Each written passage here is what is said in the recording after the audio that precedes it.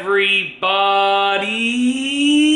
I'm here today to talk to you about a Fitbit Sense that is frozen or unresponsive. I'll be going over the easiest fix in this straightforward, easy peasy tutorial. Let's get right into the video. If you have a Fitbit Sense, okay, you know, sometimes technology, technological devices, I don't even know if that makes sense, yeah, sometimes technological devices freeze up Okay, I don't know why I'm doing this because they're not cold, but they freeze up, they become unresponsive, right? Sometimes when you when you leave them on for many, many weeks, months without sort of restarting them and stuff, they freeze up. There's a software glitch, a hardware glitch, things happen. It's part of technology, it's completely normal, right?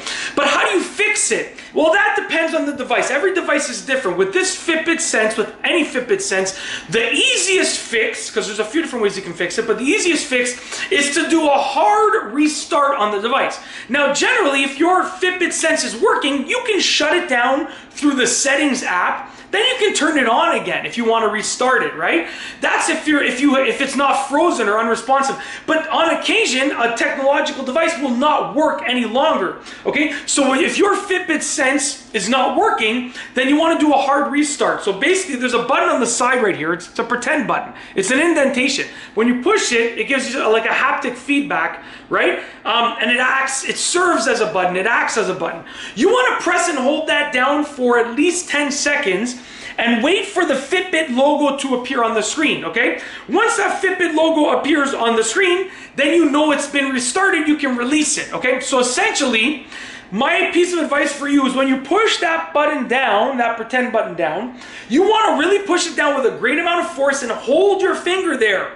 Because if it thinks that you released it and, and, and touched it again, it's not going to restart. It's just thinking you're pressing the button, right? And if you move your too much, it might register that you that you released your finger and pushed it back on. So if you're having trouble doing it, you really want to make sure that you're pressing and holding it down firmly for at least 10 seconds. Sometimes it might take longer because if your device is glitching, then it should only take about 10 seconds, but maybe there's a lag time for it to recognize what you're doing. So you know, don't be afraid to hold it down for longer. And once that Fitbit logo appears, a very faint Fitbit logo will appear, then it's been restarted, you can release the button, okay? That's it, that's the easiest fix. Like I said, there's a few ways that you can fix it, but that's what I recommend that you do uh, immediately because it should work uh, the, a good portion of the time, right? Most likely. So that's it. If you like this video, please be sure to give it a thumbs up. Let me know what you think down below as a comment. And of course, be sure to subscribe for more great videos just like this one. And that's all I have for you today. Thanks for watching.